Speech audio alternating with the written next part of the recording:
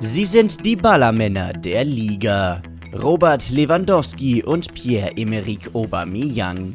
Der eine spielt für den FC Bayern, der andere für Borussia Dortmund und diese Saison läuft es für beide wie am Schnürchen. Nach dem zehnten Spieltag in der Bundesliga stehen die zwei Topstürmer jeweils bei 13 Toren. Doch Aubameyang konnte drei weitere Treffer auflegen, Lewandowski nur einen.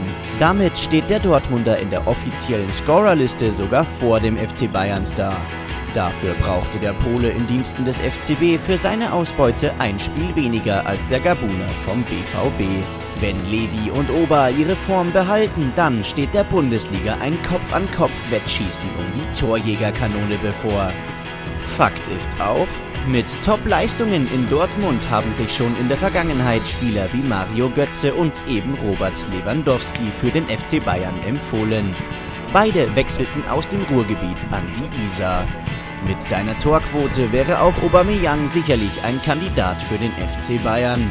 Doch auf eine Wiedervereinigung von Levi und Ober müsste man sich in München noch etwas gedulden. Der 26-Jährige hat seinen Vertrag bei Schwarz-Gelb erst vor der Saison bis 2020 verlängert.